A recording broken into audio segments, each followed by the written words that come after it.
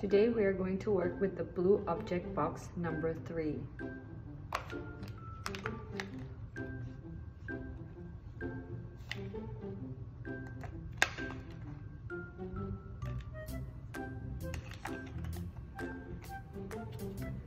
Felt.